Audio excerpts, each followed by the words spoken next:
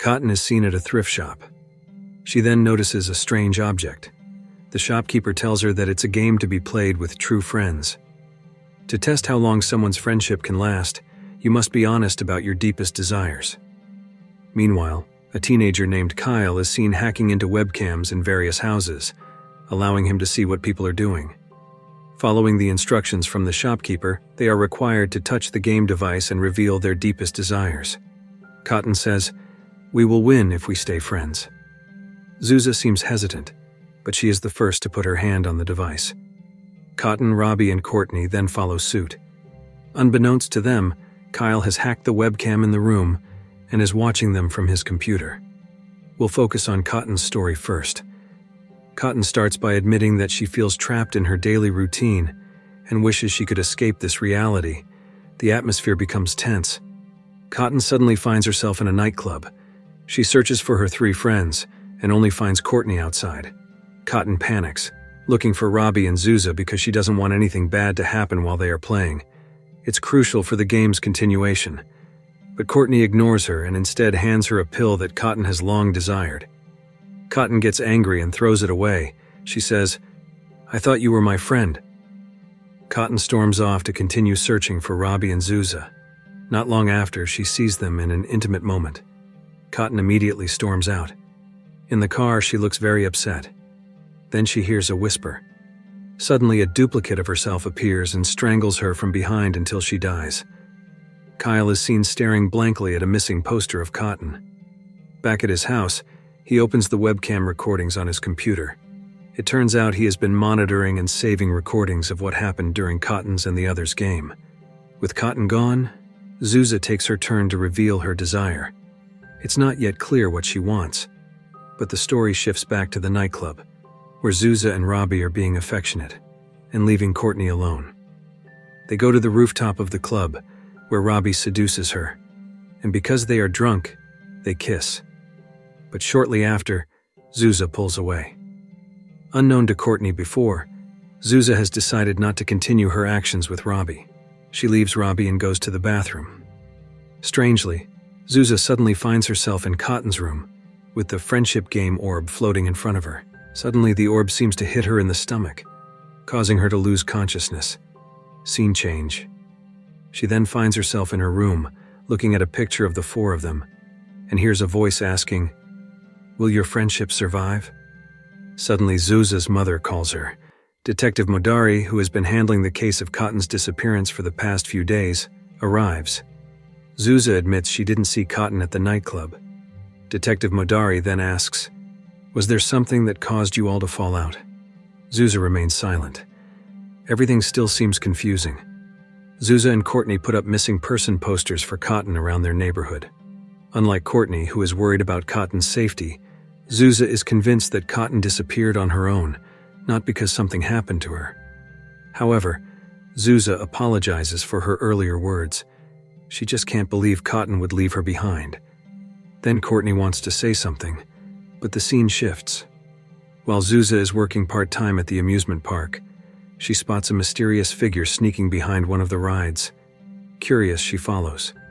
When Zuza looks into a mirror, she suddenly finds herself back in a room, just like what happened at the nightclub before.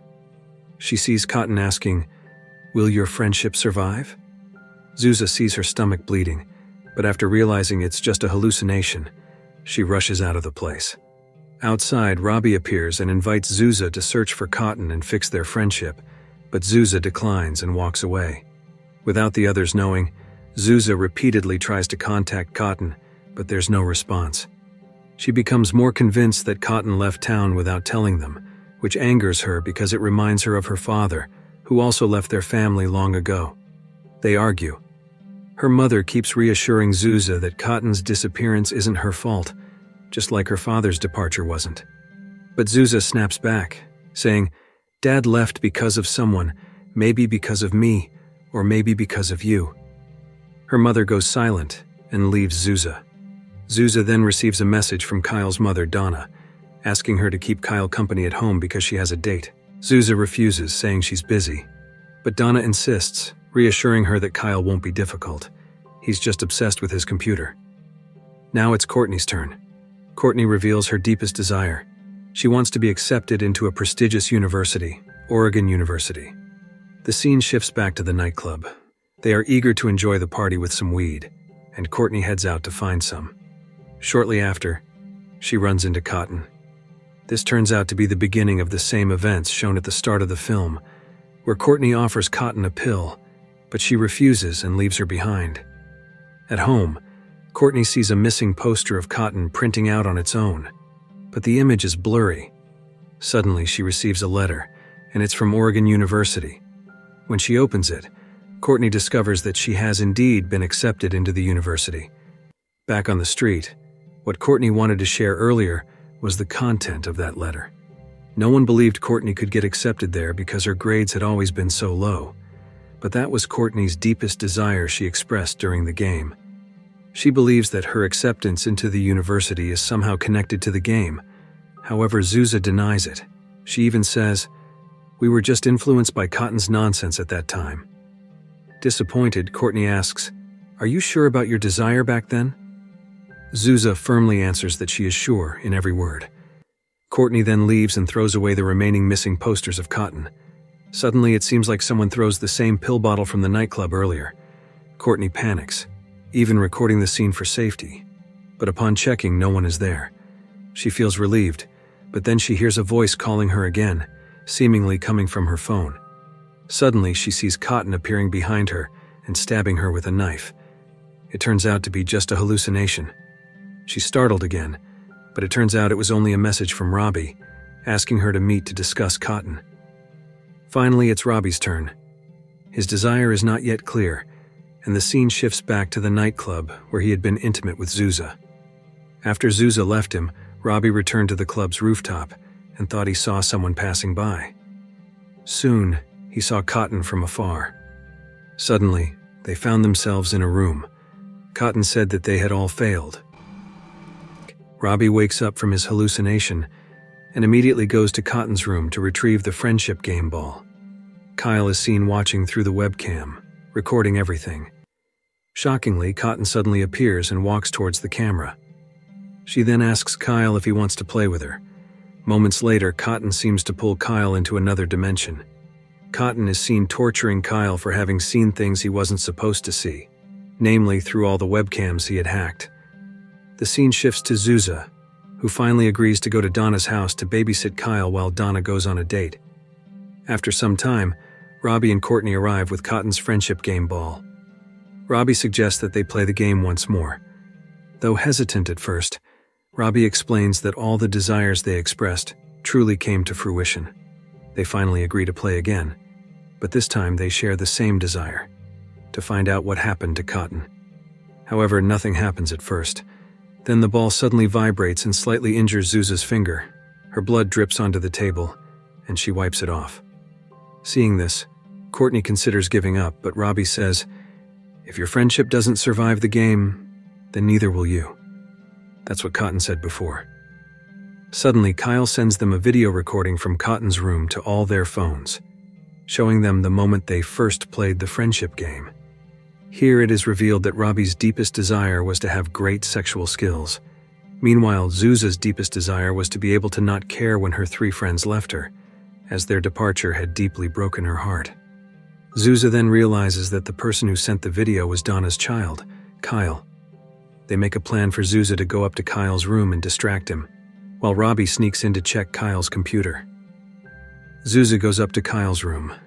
At first, Kyle ignores her and continues working on his computer until Zuza invites him to watch a horror movie.